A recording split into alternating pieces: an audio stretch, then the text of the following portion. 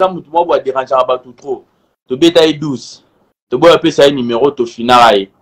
après moment tomosolola lisu bien te nde peniel ayaka ntango peniel aye aye mama jackpot tozali kutu na, na nini cité du fleuve e eh, hotel du fleuve tovandaka biso kutu trois banini tomoni peniel bavideo na denis lesi ah jackpot alobi ah peti oyo nani jackpot kutu ayebaki te kaza ex momi ya notre pasteur on respecte beaucoup mike kalambai mm. comprendre ah, bama toyebi se non aza peniel banini eza mpe lisolo tolalisa wana un moment tovanda mpe na palais ambiance jackpot abenga wana banini eh, na naposa na nakutana na peniel comprendre biso mpe tozala na coordonne ya peniel te ni eloko te ni jackpot ni eloko te tosesivana te tobenga ye moko denis lesi le commissionnaire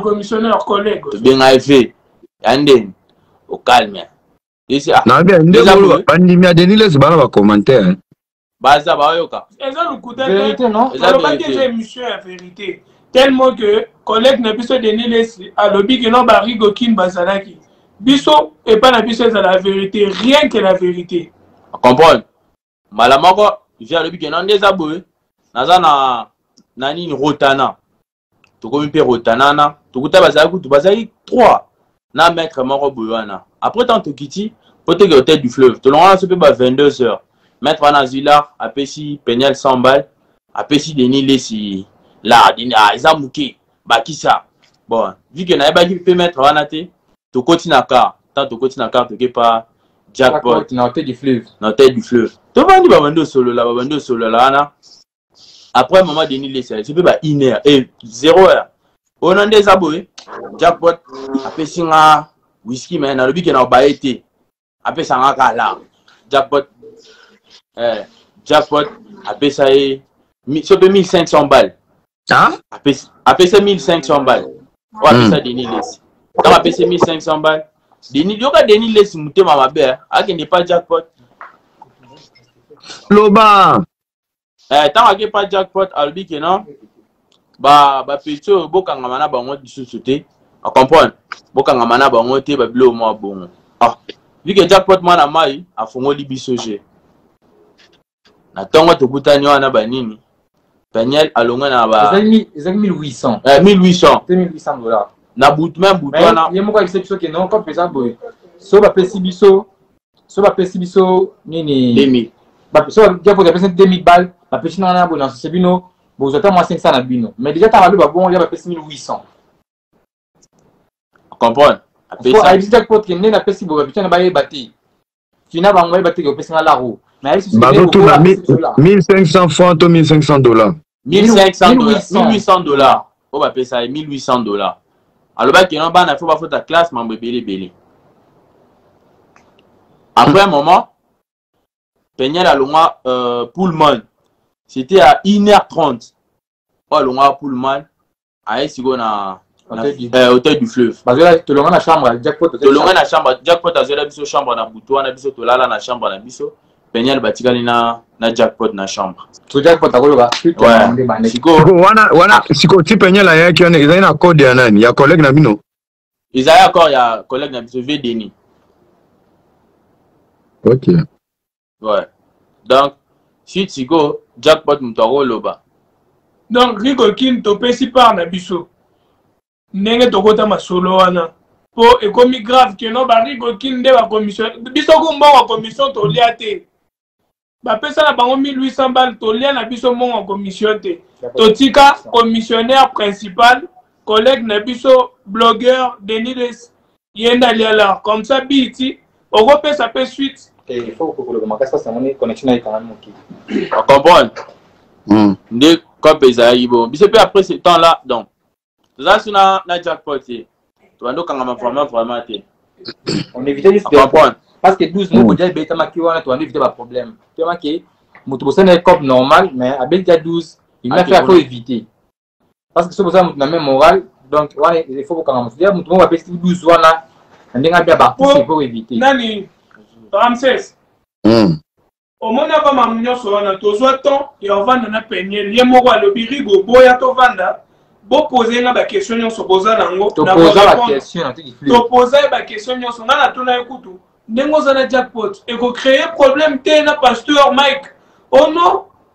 ah, nga na pasteur todivorce officiellement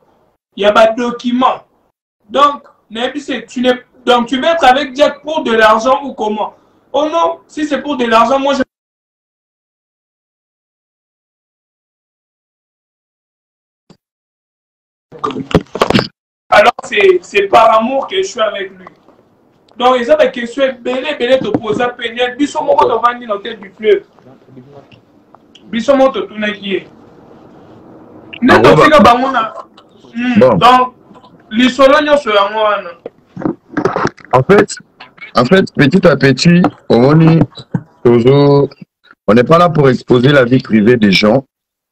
mais ça fait quand même plaisir ba révélation mosusu oyo ezobima ça nous oriente d'où est venu le problème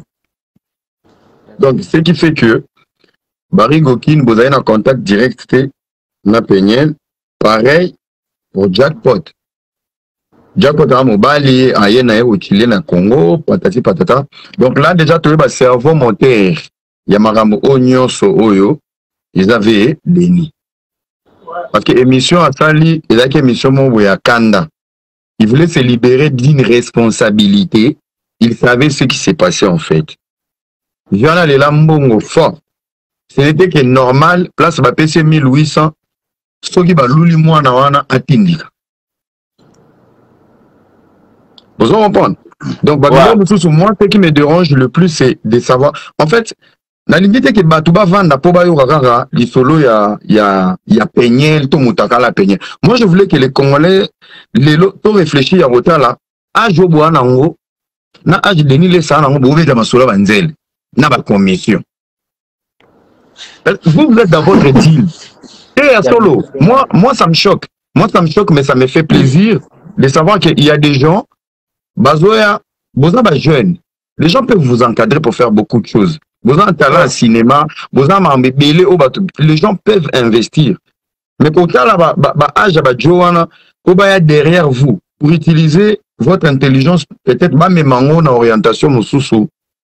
c'est quand même grave mais maintenant sikoyo ntango ye eyindeli ye ye moko qui commence à balancer les gens pelle mele nzoka bana bato bazali na contact na peniel te bayebaki ye te te parce que eloko esala po tosala live eza ke bato ebele bakoma obenga biso osala wana eza bien te parce que maman ngeto loba mpe te bata ba meme biyo kino mambosa eza bien te aza ex pasteur mambosa wana eza bien te bokumu kaba kuna wana biso yebaki te basala émission bakoki biso ba lien bato bazo basilila biso wadi non mais biso makambo wana eza te eza eza wana eza bi normal comme toza wana koya moto moko boye asepela moto moko boye bino na yela petit oyo molandi moto bato bato babalana mpe bongo moto abali mpe moto Depuis na mito biso contrat na petit wana ezalaka te il faut nde tobenga motu azala na ye bato bandokuma yo oki bino nde boza fou yango il faut tolakisa verité ke biso toza fo te tosala part na biso Rigo nalinga King. kino artiste na biso Rigo- totambola na ye aza na posa petit Rigo Ouais, King, Piti. Rigo Ouais. King. ouais. omoni nga nazalaki na mposa kosala ata live te me lelo nabika nasala live lelo parce que bato mosusu bapekisi nga ata bavoka nanga kutu bapekisi nga babi nasala live te alors namonaki kaka ke ife nasala mpe live po biso tutu awa bacongolais alors euh, eloko moko eza wana ke congo eza misike ti sikoyo namoni vraimen nga moko bana omona ke congo eza misike tata parce que kongo eza na baproblème moko boye ndeko na yo moko akobare yo aolingaka asisa o gaz denis les oyebi ke denis les ababoyi nga fort na ba émission tout asali me nga nafutelaka denis les classe ya bana neti lelo ata ba trois fois déjà napesa ye mbongo denis les c'est un grand escroc ti alobaka ya pasteur wana aza ne pasteur te alors nga mpe pecho wana penel wana nga nayeba ye penel te penel nga nayebaki epa denis les denis les ayela nga penel abiki eza cope o oh, yaya zwa ye kaka eza cope bolingana te eza cope yo tyanga nga mwa laa moko boye nga nakende na nga hmm? Alors, lelo ba ça, ça, veut, ça veut dire comment ko, ko, ko utiliser peniel pour na kopa bala. Mais, mais ti lelo ateka a peniel, yende mutu commissionnaire a peniel. Alors lelo ba fille ebele balanda biso, ba obulo loko biso mibali nde to amte ya mabe. Mhm. Biso mibali, biso ndo tozopanza peniel na TV, tozosala ye ba tozopanza mamutaka na ye. ngai nabuaki ata video ya peniel te na réseaux sociaux parce que naza na temps wana te mon frère mm. bamitakalaka lelo peniel ebimi eza bamitakala jo na ye wana oyo bazali nene états-unis so otali bavideo wana bien so otali baporte omonake wana eza états-unis eza awa te baprofite ndenge bamasta na ngai babakosala banini nani bakenpiana ne babaolobake tolakisa yo mutakala na yo zongisa instagram ya jackpot nga songi nabetela bino makambo ya peniel bokamwa fort peniel ndenge aza bongo mpo na nga namoni aza sorcière aza fille moko boye nzambe balimbisa nga none na oloba na bongo eza nzambe aza vraiment apesa bato na bato na ndenge na bango fille wana eloo nini asala te mpo na fille wana azala bien bariko king baza wana nga nayaki na kin na baboule na nga natonga site touristique na nga na maluku nasala makambo tout na nga kuna pele penel range rover marie gogine baza wana toyebi mpo namoni petio wana aza mwasi omoni biso nde oza boye mofre tova na libana mboka sikoyo il faut balaka congolais jamais motu moko boye te akova na libana mboka olobaki abala motu moko tobi te il faut balaka congolais ozala na ye mais sikoyo bacongolais yango bakoma komona biso lokola baétranger ntango tozongaka congo bakoma komona biso lokola baétranger lokola banigeria lokola banacameroun mais toza bacongolais ozo comprendre petit wana eloko nini nasala na ye te nasala tout mpo nazala bien ozo comprendre nasala tout mpo nazala bien mais petit moko aza lokola nco denis lespe azalaki na bavie moko boye azoteka petit azobenga petit azolakisa badio mosusu banini banini alors nanga mona avandi kaka kimia na otala mpo nga baoloba te nazali silence na otala kaka ta makambo demdes aosala bon en fait alors, en réalité ozali mpena na bolingo ya mwana wana mais mon cher soki bolingani na momi yo moyebi kaka soki bolingani na momi bolingo ezalaka mystique fort bolingo ezalaka eloko moko boye biso moko toyebaka te bolingo ezalaka nini oza bato mosusu balinga bandumba babala bandumba na bapalais asigne vrima bali ndumba bafinga me o oh, me wana aza ndumba ti me ya okipe na ye te mpo alingi momi na ye omoni mm. alors petit wana azalaki petit moko boye abaolingaka tozala na omoni tozala na ye azala mwa mayele petit yango na bango ma ba réseaux sociaux na bitin petit zwa ba instagram na ngai aza musicien banini banini yo zwa yango simbaka yango parce que na mutu naza nga moko esimba te ke nasala boye nasala boye nasala boye ozo comprendre petit ayebisangaki aza rondo oyo naa na zemi na ah oza na zemi ah zemi ya ndeni oyo naa na wondo pampa abi c'est bon tosala yango ndeni oyo tosala na obota ozo comprendre ti petit na mwana ye jackpot pardon omona ye ba test wana nabimaka jour moko nakenda na chantier hmm. nakenda na chantier nakosalisa misala na ozonga mona yo omona bateste mibale alakisi nga deux test ana wondo alors nalobi ke nabenga docteur na nga ayaola ata o te docteur no awa te naboyi na nga badocteur baninga ife nakeka états-unis nakosalisa bateste ah peti na ngai yo na kino nga aza docteur na ngai akoya ntina pale akosalo bani oyo ye ifakeka états-unis ah namona yango mpe drole maman impoli ozo comprendre mwasi falaka na falaka na sia mobali jamais mwasi akozala likolo ya mobali mon frère impolitesse ya grave ya grave ya grave alors ngai nde eza bongo na oloba jamais ngai akozala ngai nde eza bongo mon frère nalinga bamomi ya marke na marke ntina baindien bachinoise bani tout pichu wana kutu akobangisa nga na eloko te mais ezalaki kaka topesaki chance parce que aza congolaise moni parce que andeko na biso mwasi ya congo oyebi ke o congolaise topesi chance mais alingaki chance yango te mon frère lelo azoloba ke yo ye aboyaki nga nga ngam na chasse na palais chez nga na mabe nani na pale me na kini azalaki ovanda epa mama na bango asalaka babilokos me na kini abaa ovanda ye mon frère azalaki na place avanda te mon frère azalaki shenga nazwi na hotel du fleuve tovandi chambre moko bakangi ye lelo baoloba oyo babeda chou oyo banani oyo banani bafutele bambongo mpona bima mon frère n'importe quoi mon frère c'est moi qui a payé l'argent wa mwana nabima na cachot famille ne nini eya wana epesa mbongo mon frère ya rien no money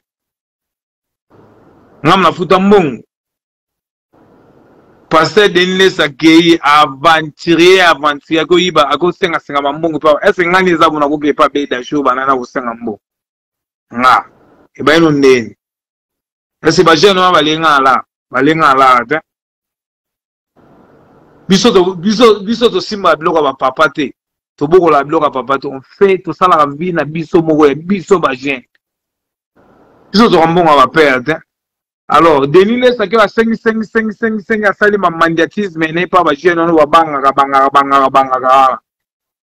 azwi bambongo ayebo abomi mbongo na poche na avoka na nga mon frère avoka na nga témoin adeni eza babimisa mbongo te esika akenda kosenga bambongo petit wana penel avanda trois jours na clasho mon frère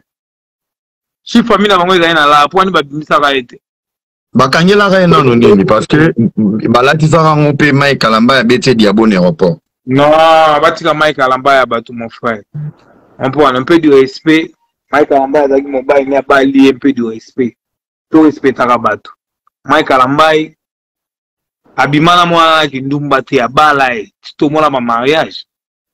mon frère tomona ba mariage wana tout petit wana bakanga ye akenda kosala test ya corona jeune moko amema ye soki wana akosala batest ya corona akenda fridisi nzoki na ye cop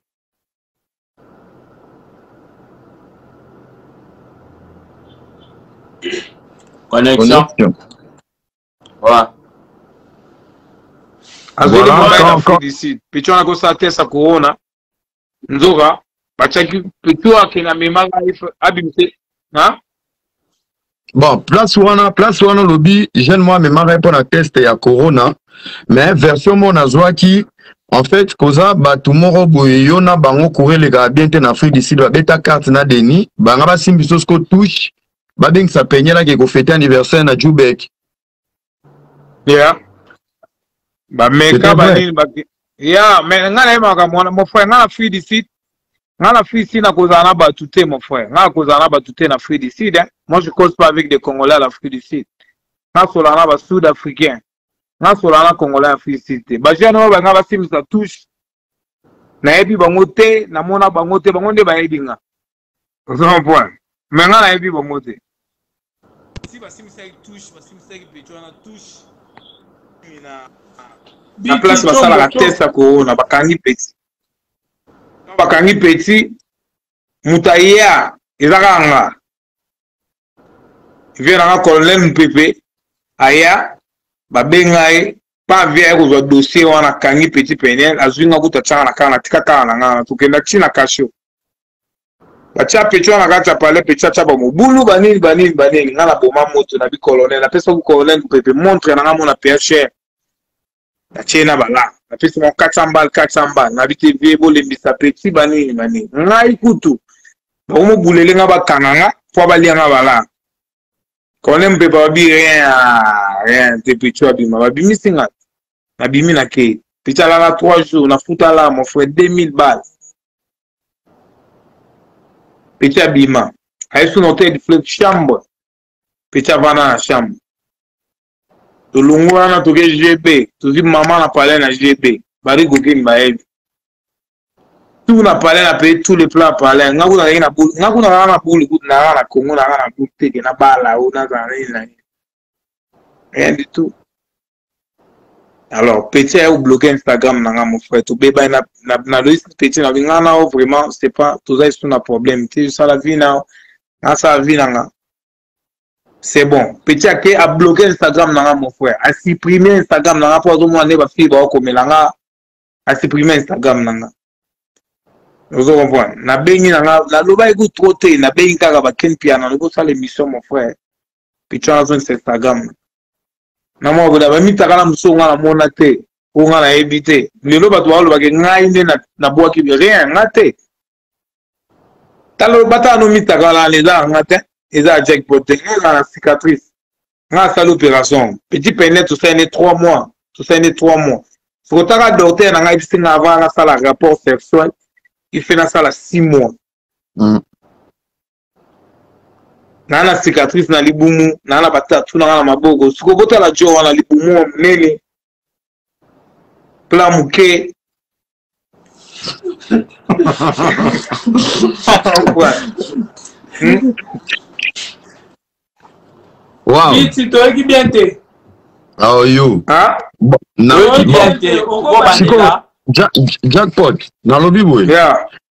Euh, euh, tozo tozo tozoyoka lisolo ndenge elekaki parce que bato ebele na bacommentaire je pense que nde kaka naloba bacongolais ebele ba bandoki vous savez lorsque vous ne connaissez pas la vérité vous faites des films mm.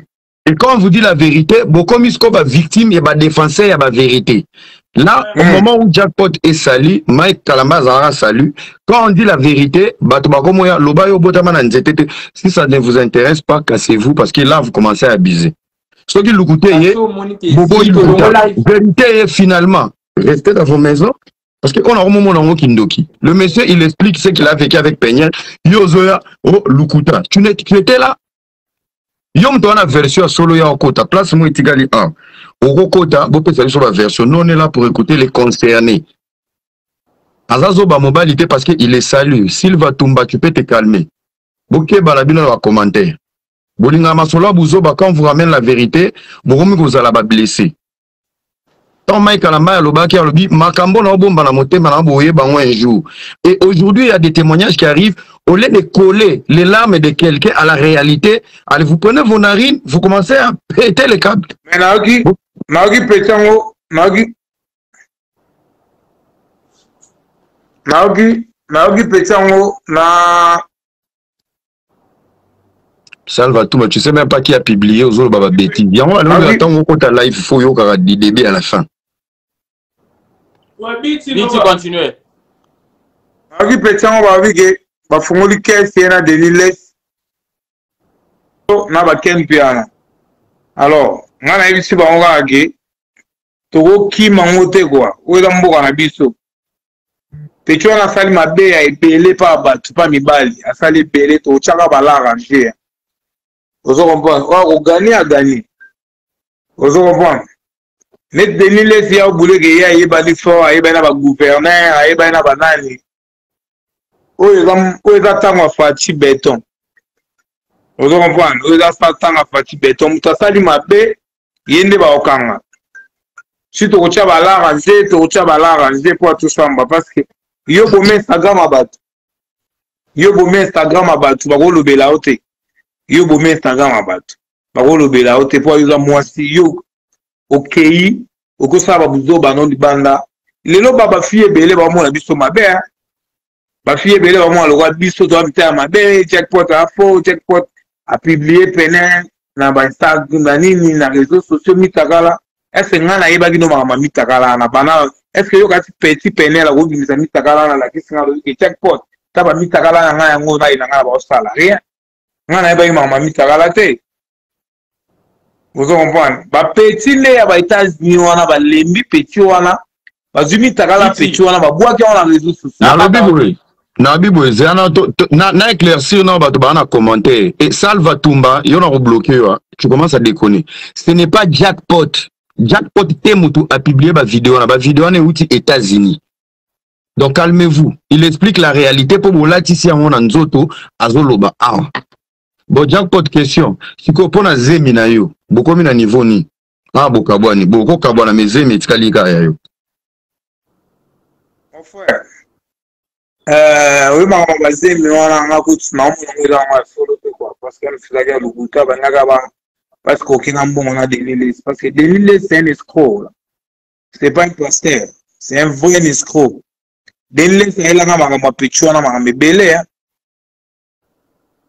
na lua salle mpo na pecho en 5 minutes de moi na hotel du fleuve mpo na sakamami na bacaleson ateka ah. bacaleson asala événement ozo comprendre napesa 5000 balle nalakisaka petit ke we nasepelisa ye kua Siko petit moko ya bakoloba loba trop gaza balara na ye mais na omona eloko moko te no lara lara ya te mon frère biso oza lokola baanglophone tovanga bapaye anglophone moto auti états-unis na moto avanga na afrique du sud okobangisa moto te ata kutu moto aza na congo wana moto états-unis okobangisa moto te mpo eza kaka pays ya nango te ke états-unis ezalaka royaume moko bosoki kuna vino obongi te bango bauti na ba états-unis baye na bakongo pourkoi baolanda biso touti na baafrique du sud boni babonga te ozo comprendre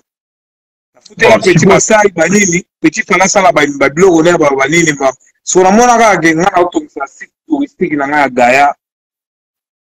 ya ba ve ndako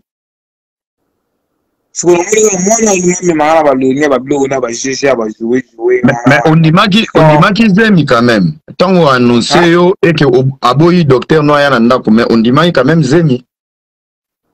mais mon frère ntango omoni kaka ke bosali test omona test banini pita alakisi soki aza arondo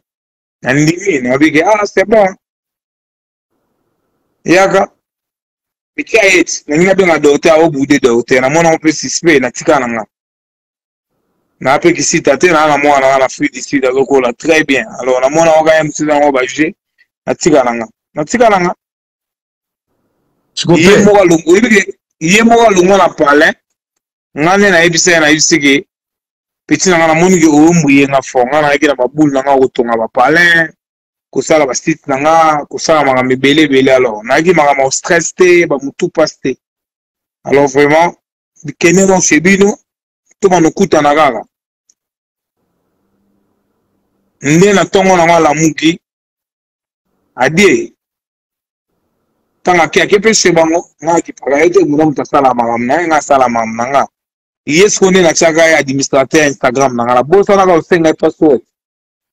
eloko nga alandeli petit wana oyo oh, lelo ekomi makambo boye eza makambo instagram na nga petit asupprime instagram na nga ya 250 k oyebi ba oyebi balobaka balobaka nini le, le, le criminel revient toujours à la place du crime 250 000 et quelques abonnés à Pasteur Mike et pour moi, le loi Bandela n'a pas à Facebook. Aujourd'hui, ça se répète avec Jackpot. Sikoyo, base ya séparation ya bino ezalaki kaka mpo na instagram où il y avait encore de problème oyo okokaki kogere te parce que yo oza noko mpo tomonaki mosali na nzambe aleli tocomprend ata mosusu ye esprit faible ba prière ba jeune esimba te yo soki oza noko ndenge ozoboti ya fue deside obeta kutu wika par rapport à game ndenge nini yo okoki komaîtrise ye te ofoi na nabeti yo mwa lisolo mwa oya omoni yo esika oza kuna oza na mitili oyebi makambo tu ndenge elekaka mon frère omoni babula bato eza différent nga komaîtrise mwana na mwana na mpo na komaîtrise yango eloko te eza yango rien mais petit wana aleka nayebi soki aleka aleka aleka aleka ndelo aza petit moko boye aza neti denis lese moko ayebisangaki petit wana na malade ya motu epayaki abelaka motu amelaka bakisi aza na docteur ne na états-unis amelaka bakisi bani nga kutu nana bato boko babengi ngai baa na états-unis babike petit wana na états-unis aza na bamama na baproblème akokende so états-unis te baokanga ye so adi états-unis baokanga ye va balukaka petit wana na états-unis bafungolela ye bakese na états-unis aza petit ya motu alors biso toyebaki te ke oyo bayeba adolphe ayembela biso ke mopaya zoba mai ekufela mbwa mopaya kaka nde moto aliaka biso toyebaki te denis lesa ye ayeli nga pecho wana abike pecho aza vrai petit banini bovana na ye bosana nde bamakambo ebele nzoka denis leti mama na maître c'est un vrai escroc denis leti azoyeba te ke nde eza bongo biso tokokangisa nga bana kokangisa nga na palais ti shei na palais basoda bakangi ya obule lokola ndenge azola na bagouverneur akenda na sepa bagouverneur ça veut dire ke mabe na ye bagouverneur bakondima kaka mpo aza mabe ne non mon frère kongo eza ya biso nyonso mon frère kongo eza ya motu te petit wana so azalaki calme tonga tozala ne mais aza ne calme te vie na ye ebongi nango vie ya palin te ye aza ne mwasi ya palin te aza mwasi moko boye so azwi jo moko boye awuti boye azwi ye so azwi jo moko bazalaka kotoko azwi ye so azwi jo moko azalaka boye azwi ye ye mposana eza ke azwa mwa lala na ye alali na mwa mbetu moko ya bien ameli shisha na ye evide alors biso oza so na babule wana te biso oza na bule moko boye totonga tovanda calme obala mwasi moko ya bien bovanda na palais alors vraimen mwana na kote esike oyebisi nga mama maîtrise nga na noko na maîtrisaki mwana na mwa moke hmm. mais petit wana tete denis les lisusu tete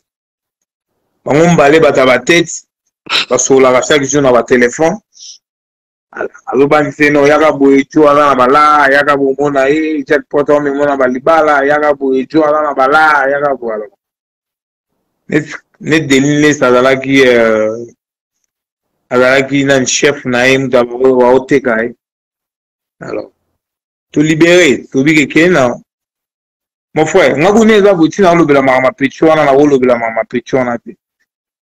ngai nazalaki na posaka instagram na nga bapesa nga instagram parce que nabaolela instagram na nga bon sikoyo sikoyo na baniveau oyo ça veut dire ke bato ebele bakanaka peti wana eza kutu nga te mhm. ebele bakanaka peti wana ti babimisi bavideo na ye nanga kuna kamwe na kamwe fort namoni bavideo ya bato baotina nga bavideo babi oh, chak pot eza yo eza yo osali boye preuve eza kaka ke mama botala libumu na nga eza na cicatrice botala nga azalaka na batatouage ebele ti wana aza na tatouage ebele te bato bazodute na bacommentaire Ah, bona nanga bato nalobi edi merci ede nga nano bato omona mpe motu ezopete na bacommentaire ede bango bakitisi piodi na congo kuna blokele nga bango en fait jackpot nalingi natuna boye ntango eh, scandale wana ebeti parce que il paraît apubliaki mpe bacapture oyo bosololaki na ye ye moko apesi yo version nini nalobi ntango scandale wana ebeti j'espère que tu as eu le courage ou un moment ya osola na ye ye moko ayebisaki yo nini te nasolaki na ye te mon frère nga na bloka ye banda kala bandaka akenda alimwa pale na bloka ye bandaka na benga na ye apostaki bacapture moko boye ya discussion na bino mibale te me wana eza ya kala so otali badate omona yango eza ya kala eza ya lelo te ok eza ya kala fort ntango ayebisi nga kala awondo alors bato na nga bayebisi nga bi te kogangele nao te kobengana ye te vraiment il faut benga ye à l'aise azonga na palin osola ne calmement oyeba mama zemi wana nde atindela ye bamessage wana te baby kam yaka nanu pardon vraiment yaka banini tosola calme bani bani mpo toyebaka makambo ya wondo wana très bien mm. so ye moko peti wana aza maîtresse akomprendaki kaka ke ah, ye ti akenda abima parce que akomprendaki kaka na comprendaki ye mm. comprenaki buzoba na ye parce que c'est un orgueil aye que moi j'ai l'argent mani mais tu as rien man rien rien waloba rien rien tout baya ane baosala ata nde balobi bakofunda na deniles bakofungola biso kesi ye na denis lesi eza kaka mibali moko boye kaka nle moto bake basali yango bapesi bango balaa bani bango moko balaa rien parce que parce que période oyo po ngai ngai nazalaka na basatellite ekontrolaka congo ngai na procureur na bango nyonso période oyo yo balivre yo euh, peniel peniel azalaki obeta na avocat moko boye ya, ya elian na otanga nkombo te azalaki loge na rotana soki ti balivre ba oye ekotisa mwa lumbelumbe na nani kolega barigokini donc ti bapesaki wana bapesaki yo cadeau empoisonné donc au moins on a, on a, on a une version donc euh, jackpot ngai bon je, je peux pas je peux pas applaudir makambo ekomi mais je pense que temps eyaka korésoudre baproblème mosusu donc à un moment donné on doit arrêter tout le temps de tourner en rond to bando sala ba film na lisolo to yebite il faut toucher dans les fonds on a touché les fonds on a compris tant on va Denis les azaka esco lelo ba bimi balaki mariage na bari gokin et comme ya kopanza c'est la parole de Dieu bayaki nzela moko ba kopanza na nzela sambo et comme mutu mutu kopanza na déjà biso tolia commission te nalobi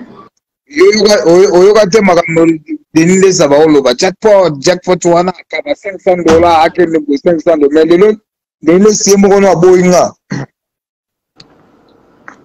denis lesi ye moko aboyi nga so olakisi yo baconversation tosola na denis lesi mikolo azokomela nga fort mikolo oboma eh. moto wana baza wana yango nayebi nini nakogere banini boma moto yo oza peti na nga balingako me yo ndeni peti na yo moto ayibi nga moto ayibi nga instagram na nga yo ozoloba peti na yo me pourkoi oyebisa peti na wana te koyibi instagram ya motu wakisa yango Donc, en fait, en fait, sorti, jackpot, en fait, sorti, en fait, sorti, euh, il y a ma vidéo à Peniel et à Laura Kindo, que moi, je suis revenu en décembre dans Congo, okanela moto biyo na osala oyo mabe bandoki baprofite na maloba na basali ye mabe so akufi bakangi mamo ah moto alobaki asala ye mabe moto boye donc ça veut dire peut-être entre vous omekaki kosala ye chantage ntango chantage wana ye tellement abombaka makambo te chantage ebimi sur les réseaux sociaux bato azala na bango bacompte à rendre na states baprofite yeah. na bapropos ya chantage na yo na baémission yeah. babimisi sikoyo ya yo te me ya states me elati yo sikoyo yeah, ela... elati nga sikoyo mpo nga nayebai makambo wana te nga nde eza namona ata bavideo wana nga na kamwe moto atindeli nga video wana premier eza sere na nga moko azala na etage après cousine na nga na france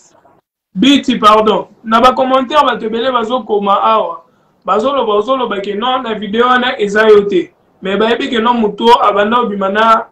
peniel récemment eza yo nini ezolakisa ke non elembo moko boye me nalobi mon frère tolanda no eloko moko boye na faire comprendre bato baolanda nga ngai na kini na minute oyo na kini nasali nayaki na juin nayaki na juin sikoyo toa décembre nasali 7 mois na kini bozo comprendre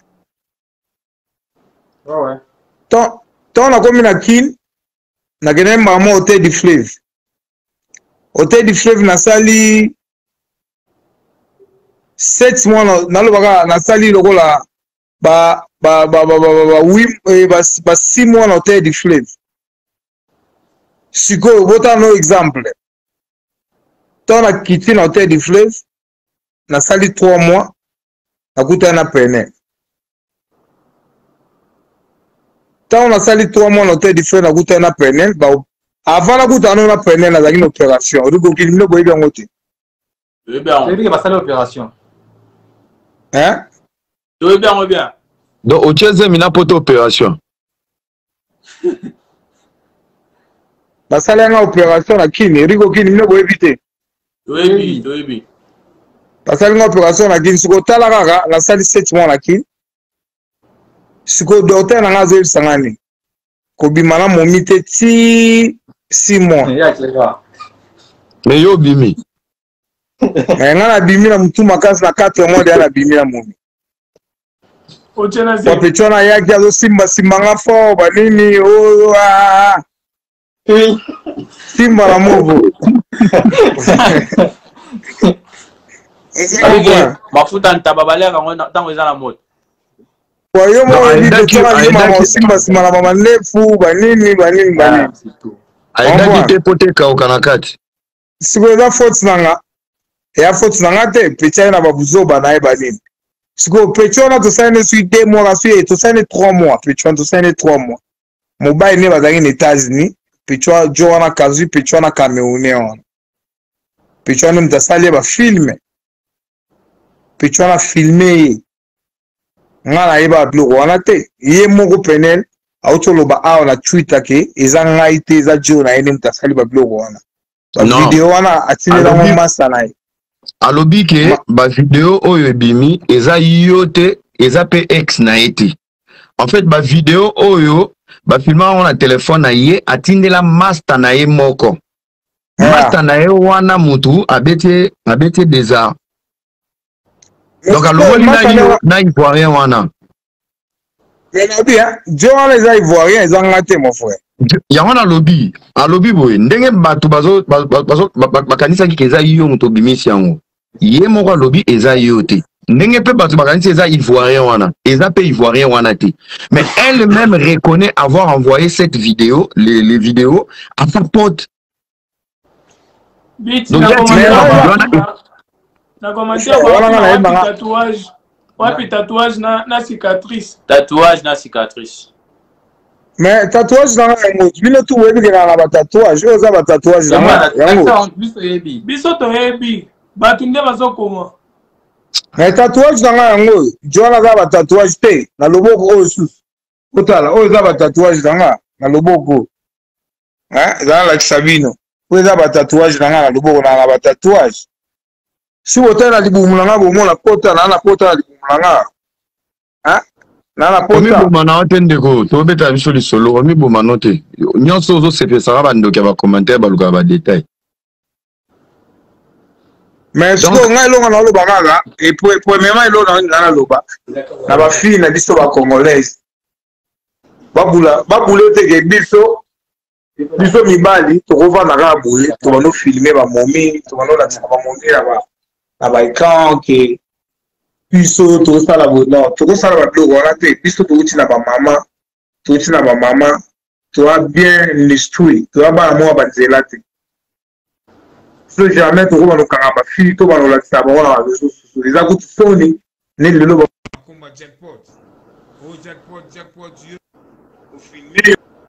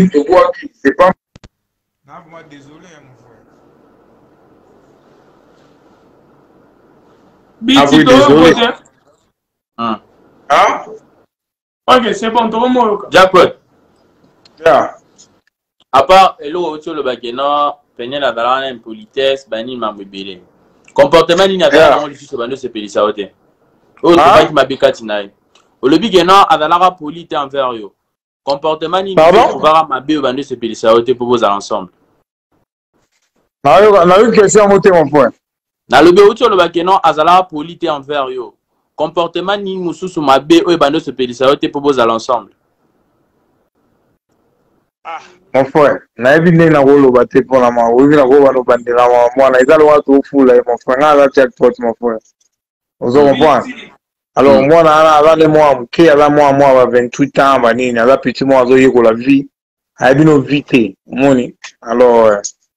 vraimen temps na ye vraimen eza vraimen trop te alors euh, eza kaka ke azala kaka bien na vie azala kaka bien na vie na mobali kaka parce que mobali to aolinga ye aomona kaka aomona kaka lelo vie na biso euh, comment tu peux dire lelo bacoco baleki leki desi ebele alobaka trois dio oyo oyo emonani na miso ya bato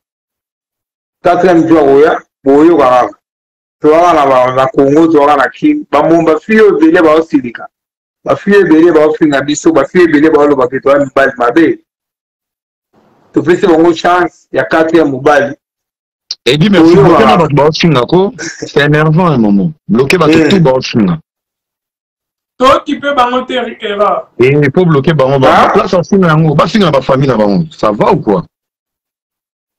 babika mpo telefone anga mosusu ya décharge na, na, na administrateur anga na bloke bloke bango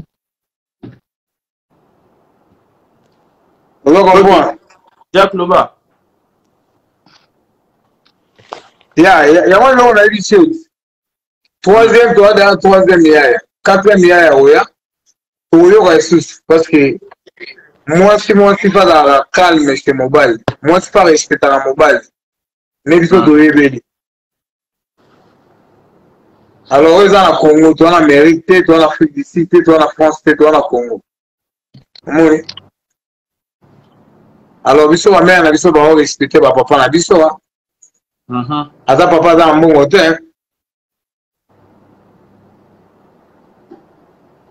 moni alors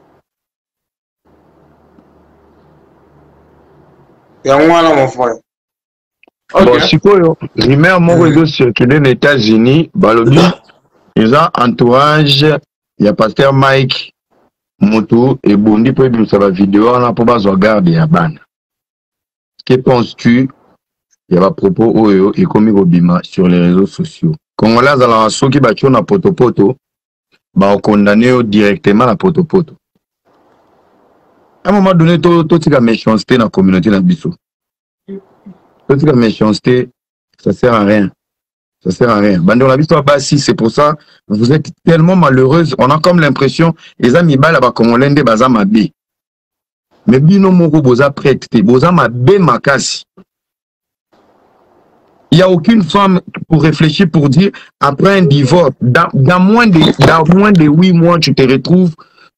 na trois mibali mbamu olongwe na mike mbala mo okomi na didier okomi na didier okomi kinshasa obandi na avocat eliane moko boye kutu azwa dédicace te mbala moko jackpot il y a personne qui essaie de voir que cette fille est dans la dépression il y a beaucoup de gens qui sont dans la dépression au congo tokokanga bino bandoki pour